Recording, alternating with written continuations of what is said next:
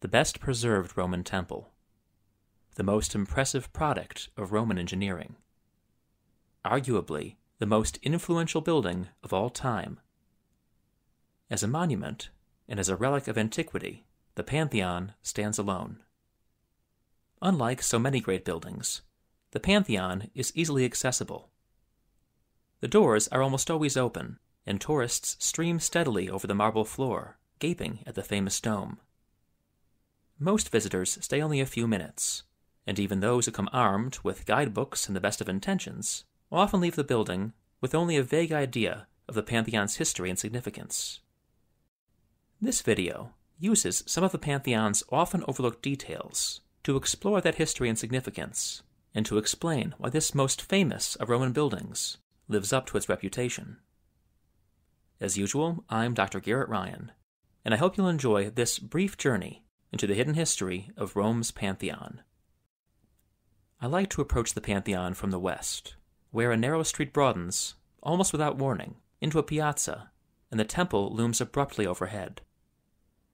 Before taking the obligatory pictures of the facade, I often circle the curving outer wall. Although this rugged cliff of masonry is not as photogenic as the facade, it's every bit as impressive. For here, and only here, the bones of the Pantheon are visible. The Pantheon is a supreme triumph of Roman concrete. Roman concrete consisted of the volcanic ash known as pozzolana, mixed with water and lime. It was not poured like its modern counterpart, but laid like mortar in thin courses. First, retaining walls of brick or stone were built as a sort of form. A layer of coarse aggregate, usually chunks of limestone or broken tile, was laid down, and the blend of pozzolana and lime was troweled over it, almost dry. The mixture was then pounded firm with wooden mallets. The concrete foundations and walls of the Pantheon were likely constructed by several contractors working in unison. Each contractor employed a small team of masons who built the brick facings. The blend of rubble and concrete that made up the bulk of the wall was then laid by teams of unskilled laborers. It seems to have been typical to finish about 4 feet, or 1.2 meters, a day. The hard part, especially in buildings with very thick walls, was ensuring that the concrete dried and settled evenly. To ensure that it would, the architect of the Pantheon incorporated an elaborate series of chambers and recesses into the walls, which introduced air into the masses of concrete and reduced the structure's overall weight. The voids in the Pantheon's walls were spanned by relieving arches of brick, which evened settlement of the concrete core and directed weight toward the rotunda's strongest points. Although the blind arches visible in the Pantheon's brickwork seem to be structurally distinct from the relieving arches and the concrete behind them, they fill the same basic function, strengthening the massive masonry and preventing the development of critical stresses. And now, having stared at walls long enough, we come around to the front of the Pantheon. As we see it now, the Pantheon looks like what it is a relic from a vanished world. It is ringed by buildings nearly 2,000 years younger than itself, and stands almost two stories below the surrounding streets. To understand its intended visual impact, we have to imagine how it appeared in antiquity. Or, instead of imagining, we can just look at this nifty reconstruction drawing. Originally, the Pantheon stood at one end of a long court. It was elevated above the surrounding plaza, not sunk below it, and the dome, now so prominent, was visible only as a flickering glint of gold above the porch. It's much more obvious now than it was in antiquity that the Pantheon consists of two very different parts the portico and the concrete rotunda behind it. The portico looked like the vast majority of Greek and Roman temples. The rotunda was almost unique, a typically Roman fusion of innovation and conservatism.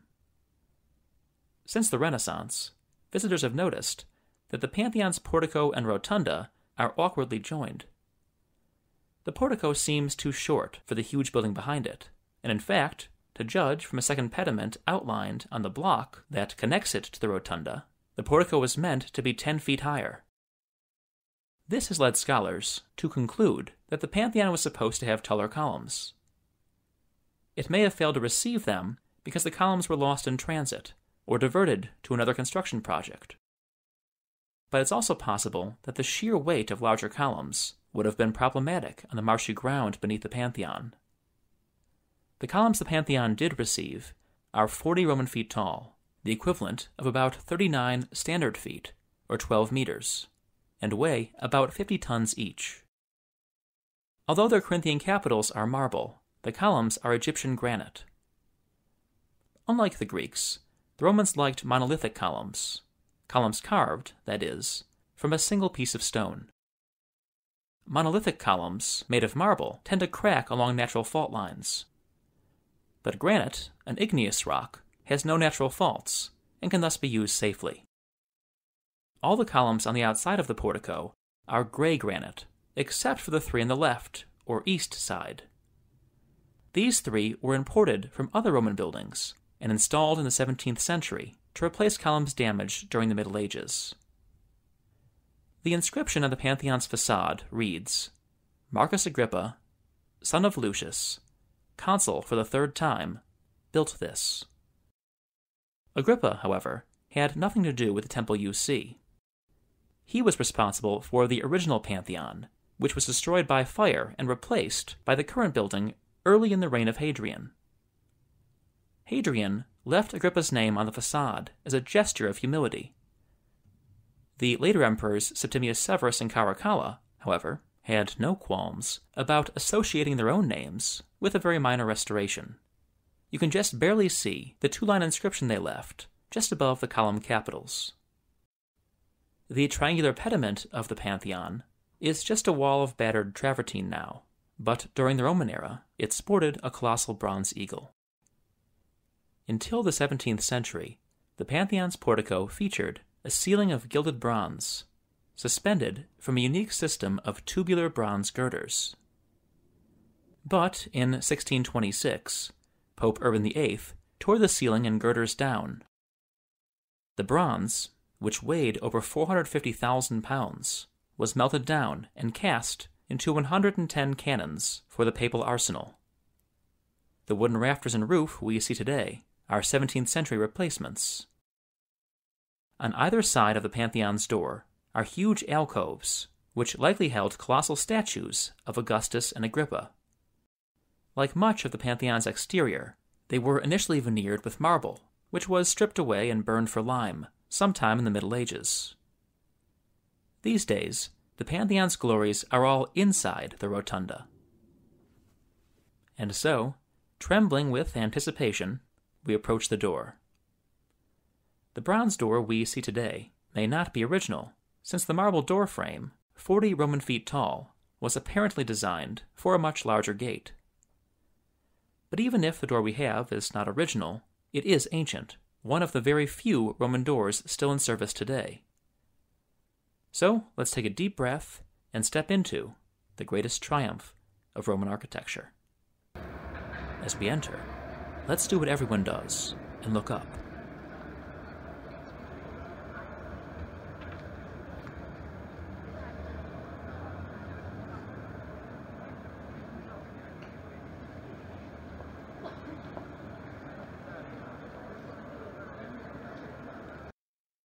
The rotunda of the Pantheon is both awesomely spacious and impressively symmetrical. It has a diameter of 150 Roman feet, that is, 142 standard feet, or 43 meters, uninterrupted by any column or buttress. The crown of the dome is exactly 150 Roman feet above the floor. As the illustration shows, a sphere 150 Roman feet in diameter would fit perfectly inside, just touching the walls, floor, and dome.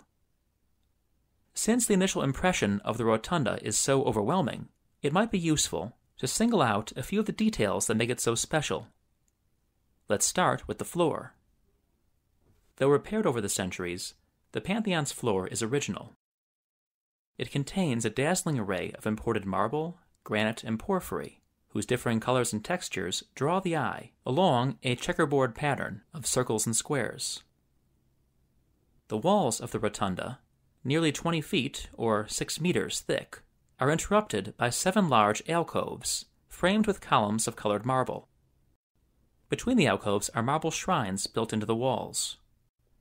Both alcoves and shrines were designed to frame statues of gods and emperors. They now house a series of chapels and devotional images. Ever since the Byzantine Emperor Phocas gave it to Pope Boniface IV in the early 7th century, the Pantheon has been a church, consecrated to Mary and the martyrs. According to one medieval legend, in fact, no fewer than 28 cartloads of martyrs' bones were brought here from the catacombs and placed beneath the altars. Although the Pantheon remains a church, the fame of its relics has long since been eclipsed by the fame of its architecture. Since the Renaissance, the building has been revered as both a miraculous survival from antiquity and as a symbol of the city of Rome. These associations made the Pantheon the final resting place of several Renaissance artists, including Raphael, and of the first two kings of unified Italy. Now at last we look up from the alcoves and dead artists and admire the famous dome, wider even than the dome of St. Peter's Basilica. Like the walls, the dome was built from layers of concrete, molded and hammered over a huge wooden form. To prevent the weight of the dome from pushing the walls outward, the architect of the Pantheon made the dome heaviest and thickest around its edges. The upper parts of the dome, on the other hand, were made as thin and light as possible, partly by mixing feather light volcanic scoria from the slopes of Vesuvius into the concrete. The appearance of the dome was also carefully considered. The five rows of recessed coffers have the practical function of reducing the dome's weight. But they are also integral to the visual impact of the building, creating a constantly shifting visual drama as they catch and hold the light spilling in through the oculus. The effect would have been even more pronounced in antiquity, when the coffers were studded with golden rosettes.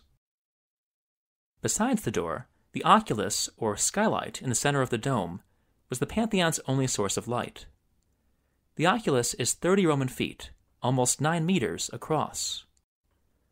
Like the coffers, it had the function of reducing the dome's weight. But, again like the coffers, it's part of the decoration, the brilliant focal point of the whole interior. The oculus has never been glazed, and rain pours freely through it. The water, caught by drains in the floor, flows to the Tiber through the original Roman sewer. If you look closely at the oculus, you can see an elaborate metal molding around the rim. This is the only surviving component of the Pantheon's original gilded bronze roof. The rest of the bronze was stripped away for scrap in the early Middle Ages and replaced with the lead sheeting that still covers the dome.